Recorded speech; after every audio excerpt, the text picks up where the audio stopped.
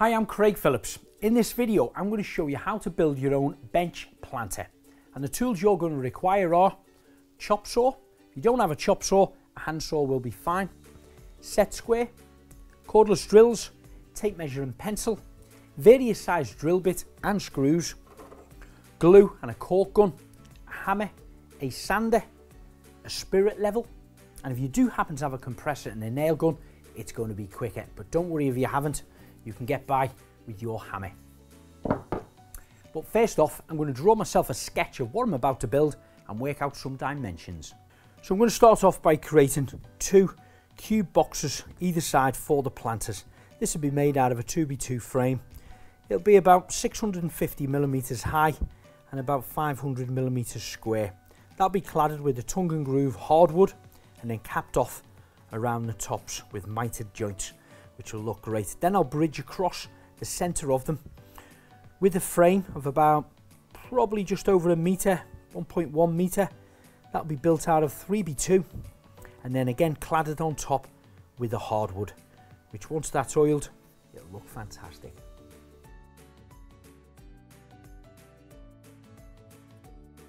So what I'm going to be doing is making the first cube. Now that will consist of four parts of a frame. These two are exactly the same size. They're made out of 2x2 tannalized timber. And of course they've got three noggins here holding them together at that width. Now then, I want to create a 500 millimeter square cube. So this particular one, a little bit wider than these, is, is 500 millimeters. But when they are fixed together here and then this one fixed together here and then the third one which I'm about to make up now fixed on here that gives me my 500 millimeter square cube which is what I'm after so coming back to this one I've just cut a kit of parts 2b2 for the two corners and 2b2 for the top and bottom piece I've got a larger piece in here, the 3B2. You might have noticed it in this one here. I'll explain about that later, why it's there. But first of all, I want to get this glued and screwed together. Now my width on these is 500 millimeters bang on. So my cut here is 400 millimeters in this. And of course, these are 2B2, which are 50 mil wide on there. This is a, a strong polyurethane glue, so it'll expand and it'll dry extremely strong. Because remember, these are not only holding uh, all the soil in there with your plants and things either side of it, there is going to be a bench bridge in between them, which this frame has to hold up the weight of the bench and a couple of people sitting on top of that. So again, placing that in place, that in place, little bit of glue on these ends.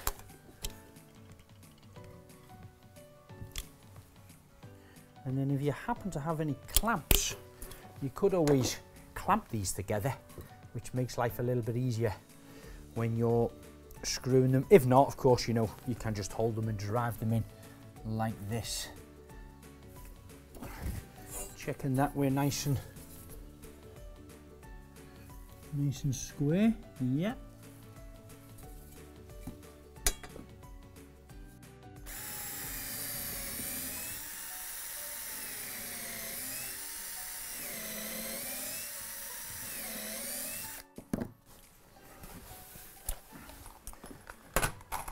I'm going to drive some uh, 90 millimeter screws right the way through. My impact driver, applying two in both, all corners should I say.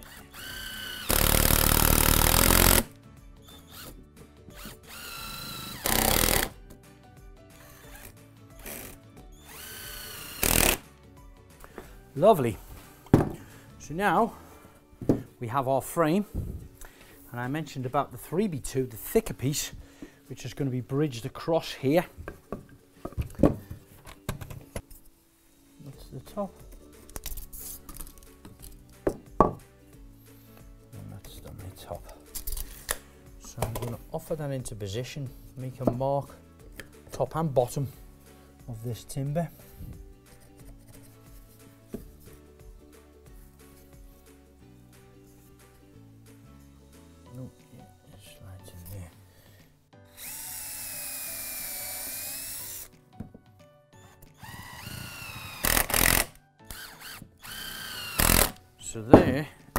Is our frame that we need. 500 millimeters wide, we've got the thicker 3B2 in the center. So now we have two of them the same and we have two of the smaller ones the same. Now these are 400 millimeters in width, so our bars in the middle here are 300, just in these are both 50 millimeters. So double check with your measurements or what size that you want. The next stage is now to do the same, glue, clamp them and screw these together.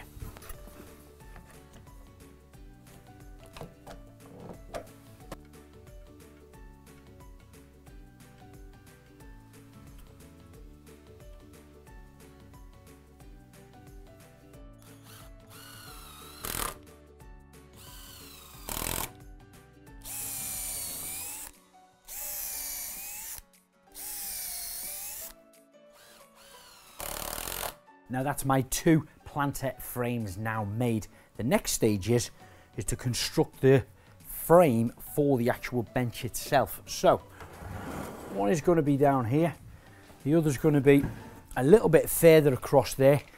Now I want my my opening between these two to be around about 1300 which is up to here. So I'm going to build a frame at about 1290. So I'm going to cut myself down pieces of 3B2, which is these lengths.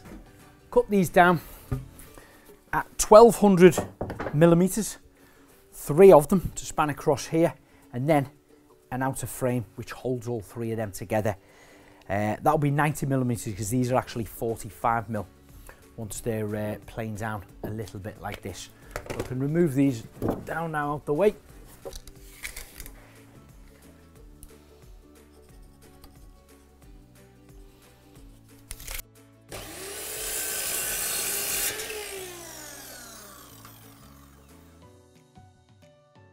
So now I've got the three of these at 1200. I'll space them apart a fraction like this. And then I want to cut two more pieces which will go on either end and hold them all together. Now bearing in mind my frame is 500 millimeters wide.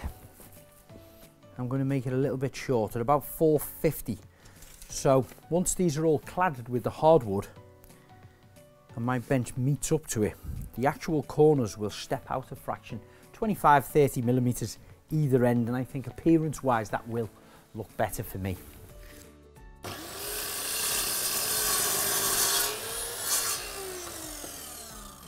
I'm going to drill some pilot holes in here so they don't split when we drive some large screws in them. However, I'm not going to go in straight, I'm just going to tilt it on an angle a fraction.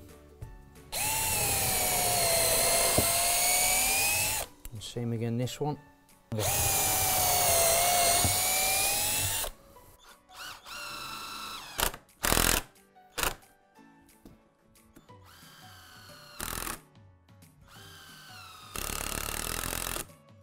So now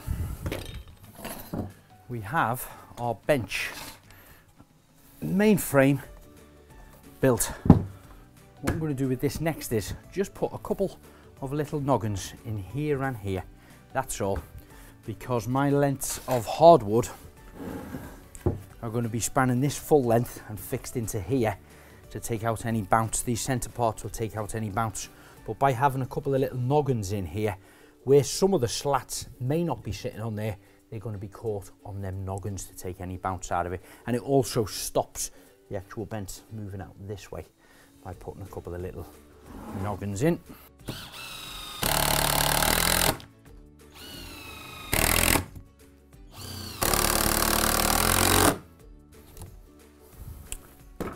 And that is my bench frame now built. Super strong and super solid.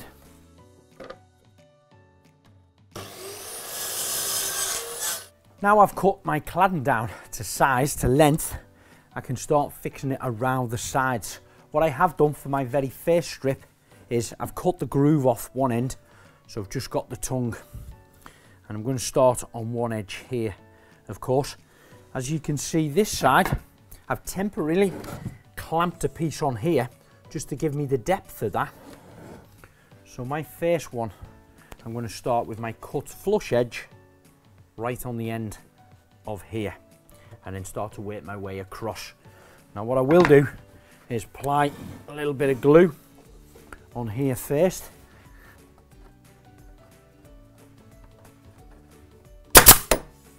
One in the bottom and then one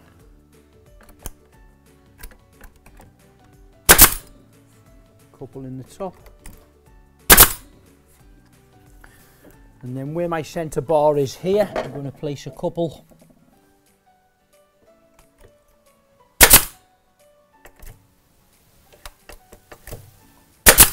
Right in the centre there. And of course they're going to hold it in place until that glue actually dries on there. And then I can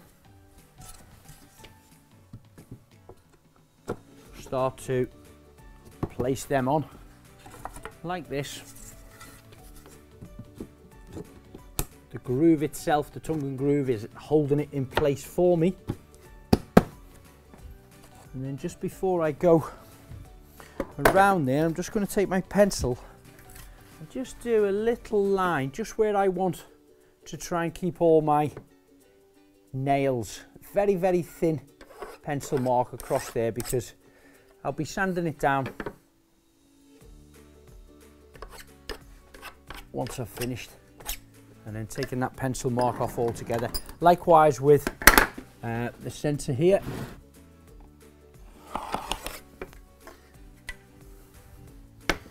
And then even along the bottom I'm going to do it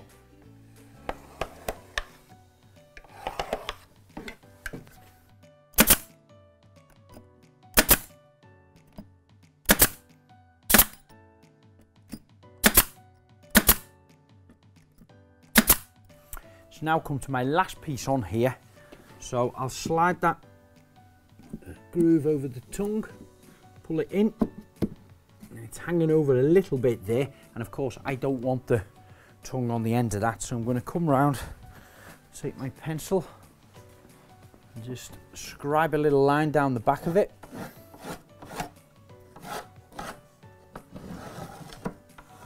As that now is going to get trimmed off, which will give me a flat end, and then that'll allow me then to start with my new piece along here again, which this edge will have been cut off.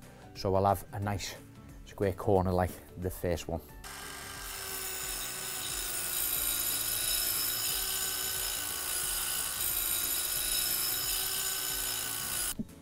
Perfect. Beautiful and flush on there.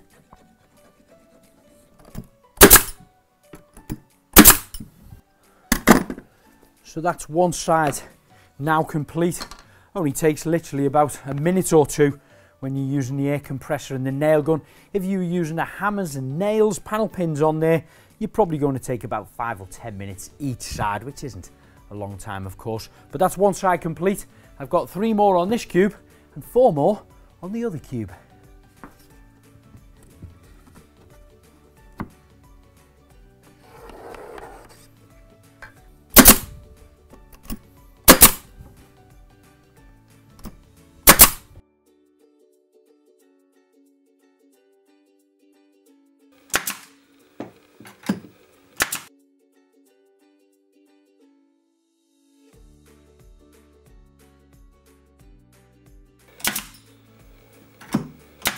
So that's my two planters now cladded right the way around all four sides and they're glued, pinned into place. They'll dry really solid. The next stage is I want to create a capping for the top of this to give it a little bit more of a waterproof finish on here and of course aesthetically make it look better. So again I've got some nice hardwood. This time it's a square edge one and I'm going to be cutting it at 45 here and what I'll do is I will place this along the top all four corners will have 45 uh, degree cuts, so they'll meet nicely and go all the way around, just hanging over just a tiny little bit, a couple of millimeters just off the edge there. You don't want to have it flush, just step and proud a fraction.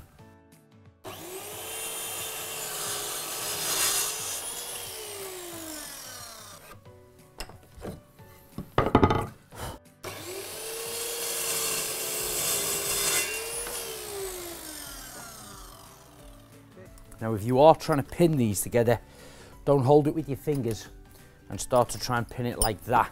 Get it into position. And if you're happy with that position, place something else on top of it.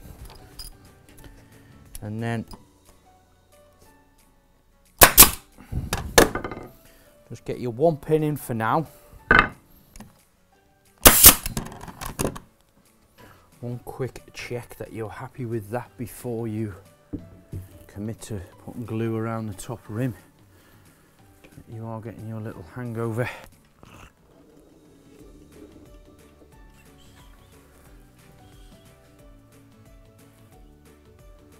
And then over to the opposite corner, double check it hasn't slid.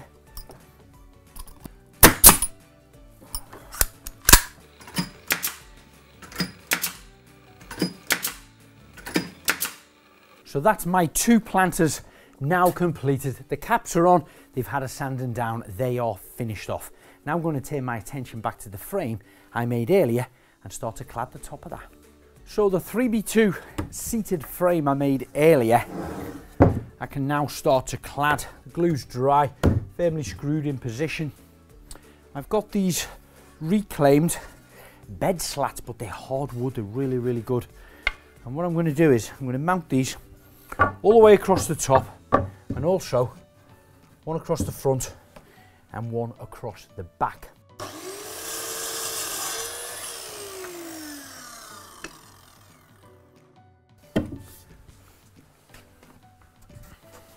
Okay, so now that they're all cut, I'm going to glue them and pin them into position.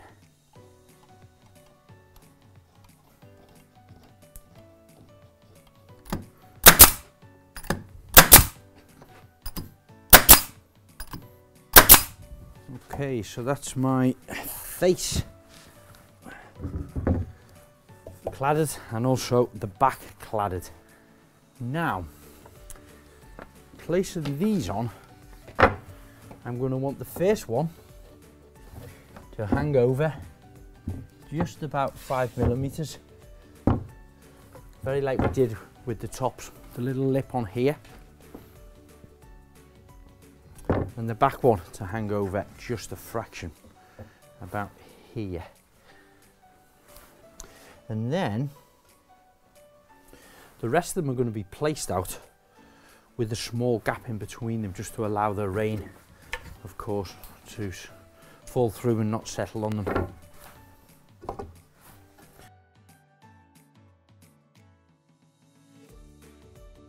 And fix the first one on the front and then the back one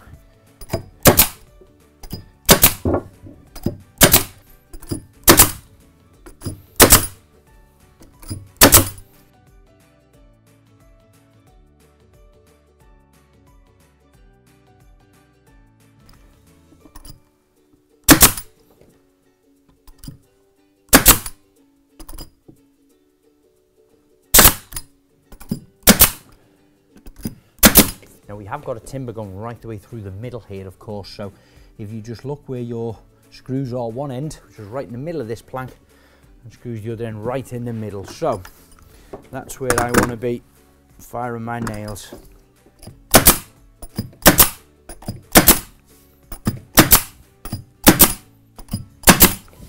And then of course we had the little noggins and if you look through you will see them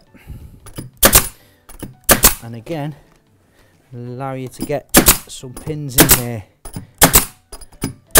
All add to the strength. So that is my bench now complete. All I need to do now is take out the three components place them in the garden clamp them together glue them screw them little bit of oil on it and it's finished. So now the bench is resting in position now on my battens and on the clamps. I'm going to take again the long 100 mil screws uh, 8 millimeters wide And that thicker batten that we put on the inside here, of course the 3B2, I'm going to drill a pilot hole in there and drive these screws right the way in to this timber inside this frame.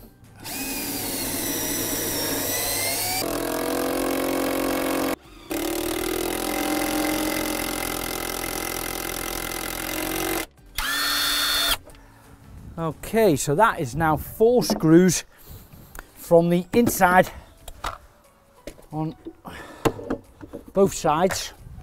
Of course, you can get underneath in the frame and apply a couple more there as well. If you need to. Okay, so let's see. So that is the perfect height for me now. We set it at 400, probably finishes about 420 with this top slat on top, but it's just absolutely perfect. All we need now is to oil this up, put some plants in it and the sun to come out.